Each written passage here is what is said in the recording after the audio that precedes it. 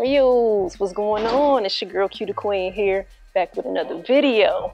We still got a couple of things that are dropping in March, and um, they're preparing us for April because we we toward the end of this thing, but everything is in preparation for spring at this point. So let's get into these, okay? Nike box, baby. Oh yeah, you know we had to end the month with yet another Nike Air Max, and this is a Nike Air Max One. Okay. So we're getting toward the end of Air Max month, but you cannot close out March without showing at least a couple Air Maxes. Come on. Boom. Here we have the Air Max 1 Easter. Okay. So it's Air Max 1 Easter. Like, listen, wait a minute now. Hey, these joints, hey, hey, these joints is kind of clean. Let's go down and, and, and see what the technical colors are called on the box. All right, light soft pink, vapor green.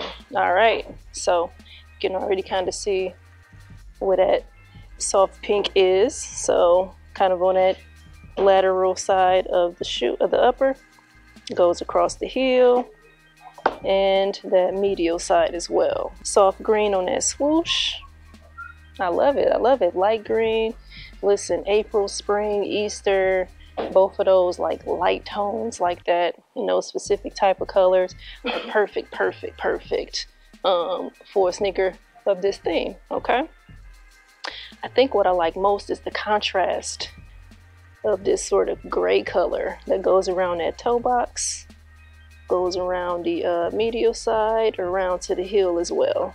I think I, I think I'm a fan. I think I'm a fan of that. I can't tell if that's dark gray or like a faded black. I don't I don't know.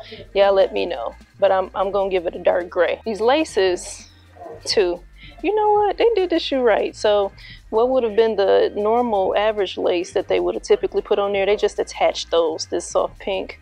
Um, but the laces that they actually have pre-laced, and this is a true pre-lace here, okay? So they have a more of a circular lace on it. And it's a darker pink, which again is a good contrast to go against that soft pink. Um, and then the lace tips are that uh are that green. What was that green again? Vapor green. Kind of that vapor green, which looks like a mint green, but it's new colors every year all the time. I don't know, I can't keep up. This is why I started reading the box for y'all, because it's all it's all it all blurs together at this point. Tag you can see that black foundation square there. And then sort of like a goldish or a yellow ochre. Or the yellow ochre nike um and swoosh and also says air max in that color so we can't we can't can't escape yellow ochre this year, okay? I'm gonna just call it yellow ochre for the rest of the year. Anytime I see this color. On the heel, you can see that yellow ochre on the Nike swoosh. And then you also see in the font, that air font, you can see that vapor green in the A, kind of that deeper pink with the I. And um, I think that R, that R is the dark gray. So pretty much each color blocking that's most prominent or dominant on uh, on this shoe is the color for each letter in that font. So with the outsole, I'm just trying to take a look at both shoes just to make sure nothing's different. But outsole, same thing. They hit us with a touch of each of the color that's on the upper. So insole is the same on both. But to give you a closer look, we got that um kind of that deeper pink along with that yellow ochre Nike, Nike Swoosh and Air font. Yeah, man, these joints is, these joints is nice, man.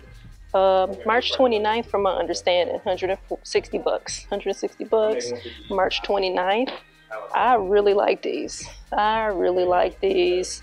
Um, I'll be honest, haven't been a whole lot of colorways that have moved me when it comes to Air Max ones lately.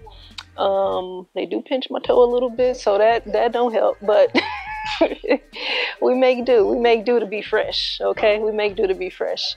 So um, I'm not mad at this colorway, man. I'm not mad at this colorway. This this might be a go. This might be a go. I've been I've been seeing some cool stuff lately that's that has me looking twice or three times. But anyway, y'all let me know what y'all thinking about the Air Max One Easter. Okay, These are the, one of the last drops of the month as relates to Nike and Air Max. So y'all let me know. Looks like they're dropping in a little bit after Air Max Day. So unfortunately, I don't know that you'll be able to wear them for Air Max Day, but you'll definitely be able to rock them in spring and summer. You can get more for your bang, bang more bang for your buck that way anyway. All right. All right.